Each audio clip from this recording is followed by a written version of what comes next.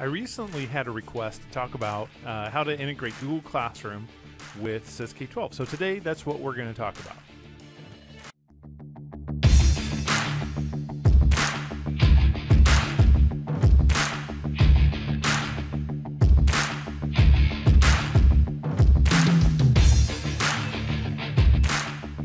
I'm going to be honest with you. I don't spend all day every day inside of SISK12, but that doesn't mean this is not an important topic. So I reached out to a friend.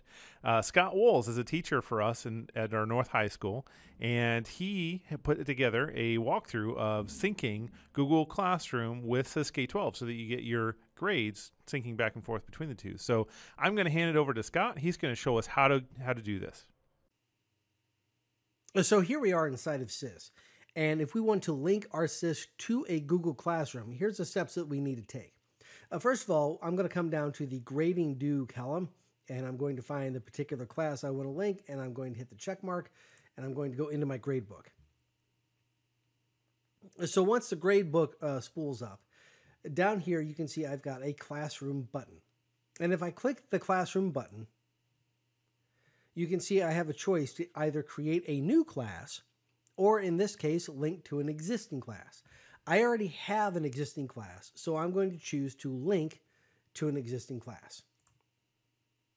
And when I click on that, it's going to pull up all of my uh, Google Classrooms, and I'll just choose this class because that's the class it wants to go to.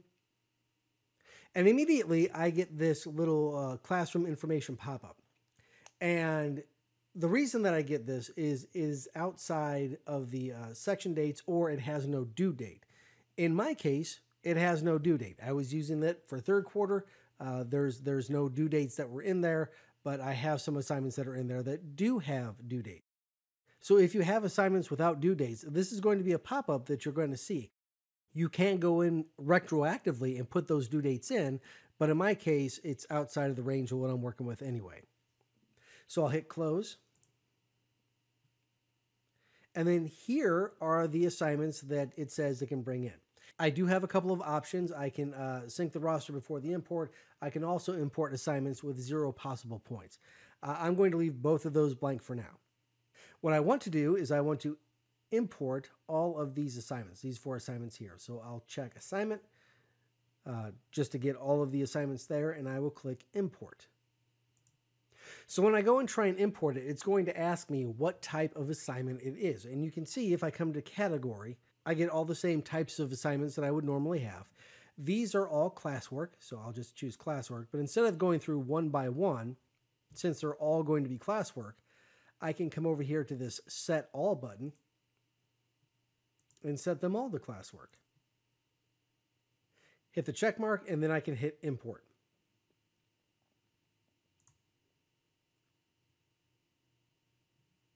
Okay, there are my four assignments. I'll click close. It tells me that they've all been brought in. I can click close here. And if I scroll down to the end, I can see that one, two, three, four, there are the four assignments that were brought in, and there are the scores that have been brought in. Now, there's some things that you have to know about this. First of all, if I try to bring in an assignment that has not been returned to the student, it will not bring in a grade.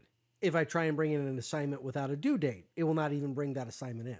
But let's see what it looks like when I create a new assignment and then bring it in. So if I come over here to my Google Classroom and I'm going to create a new assignment. So I'll just click create, I'll click assignment, and I'll type in uh, this is a test assignment.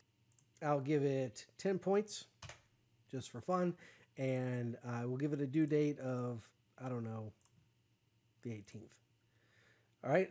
And then I'll hit assign. So there's my test assignment right there.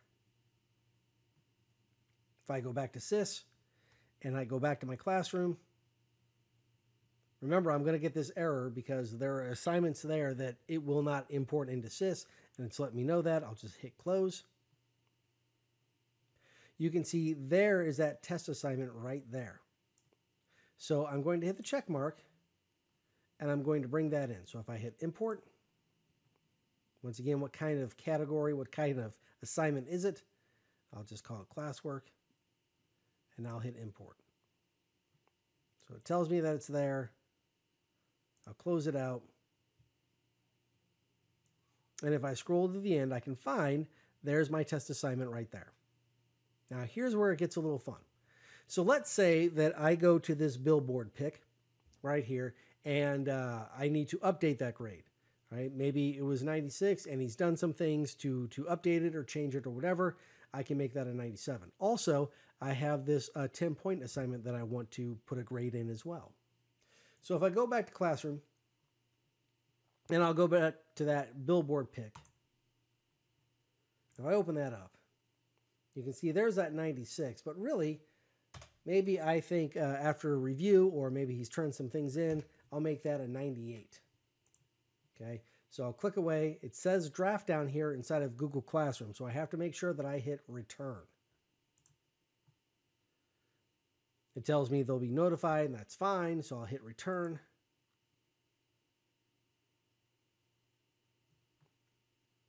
And when I go back to, to SIS, if I try and update that, so that's this assignment right here, the, the 96. If I choose that, I close this, I say billboard pick, and I hit import. And I hit close. And I close this out. If I scroll back down here to the end, you can see there's that billboard pick right there, and there is the updated score. Sometimes it does take a second, so I wouldn't do it like immediately. I give it like a minute to, you know, sort of think and refresh and that sort of thing, but that's the way it'll work. All right, so after having the student quote unquote complete the test assignment, if I go back to the classwork tab on, on the teacher side, I'll go in, I'll find the turned in assignment. I'll give him a score of 10 out of 10. And it, once again, that return is so important. If I come back here to SIS and I try and bring in those assignments,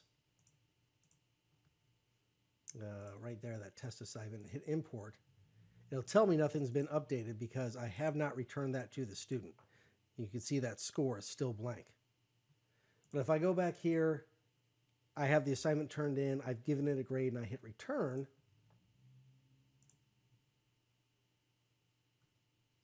Now when I pop back into SIS, I'll go to the classroom. I'll close that out. I'll find this test assignment. Matter of fact, I'll just import them all. Why not? It won't make a difference because all the scores have stayed the same, except for this empty one for the test assignment. And I'll click import. it tells me that only one assignment has been updated.